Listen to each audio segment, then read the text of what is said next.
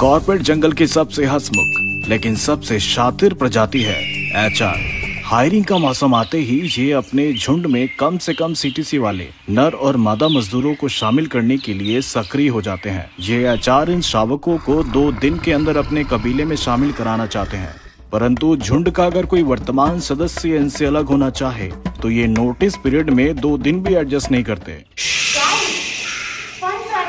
मेरे पीछे जो आप कर्कश आवाज़ सुन रहे हैं, वो एक मादा एचआर की है, जो फन फ्राइडे के लिए एम्प्लॉयज़ को रिझाने में लगी है।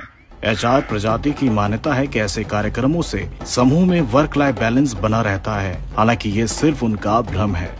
ये भीड़ देख रहे हैं आप, यहाँ एचआर प्रजाति की एक मासिक रस्म चल रही है, जिसमें आधा किलो का केक मंगवाकर लगभग 20 मजदूरों का एक साथ काटा जाता है बर्थडे केक काटा जाता है। यूँ तो ये प्रजाति साल भर काफ़ी मिलनसार नज़र आती है, लेकिन अप्रेजल का मौसम आते आते ये अचार एम्प्लॉयज़ की नज़रों से दूर अपने लिए छुपने की जगह ढूंढ लेते हैं।